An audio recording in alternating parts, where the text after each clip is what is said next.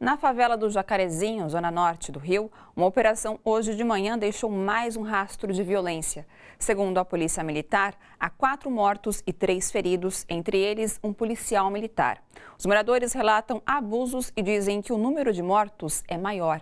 Um policial está preso administrativamente depois de ser flagrado agredindo um suspeito. As imagens se repetem em mais um dia de operação policial nas favelas do Rio. Helicóptero, blindado nas ruas e tiros, muitos tiros. A favela do Jacarezinho amanheceu sob fogo cruzado. Em vídeo que circula nas redes sociais, policiais furam pneus das motos. Segundo a polícia, quatro suspeitos foram mortos e há três feridos, incluindo o policial.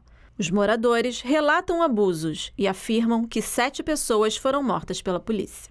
Gente, bora fortalecer a TVT? É só clicar em inscrever-se e depois clicar no sininho. Pronto! Assim que pintar notícia nova, você fica sabendo no ato.